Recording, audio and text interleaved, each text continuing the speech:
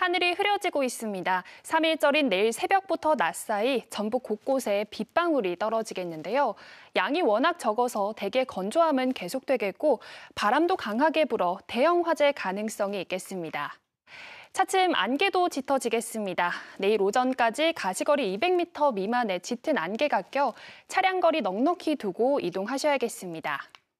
오후에는 일시적으로 공기가 탁해지겠습니다. 내일 아침 기온 영상권으로 출발해 큰 추위 없겠는데요. 전주와 정읍, 고창이 5도로 예상되고요. 낮 기온은 대부분 10도 안팎까지 오르겠습니다.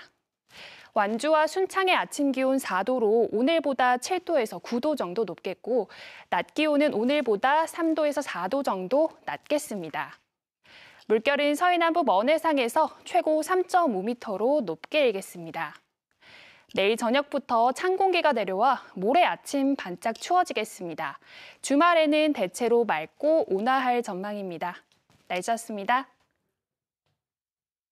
뉴스를 마칩니다. 시청해주신 여러분 고맙습니다.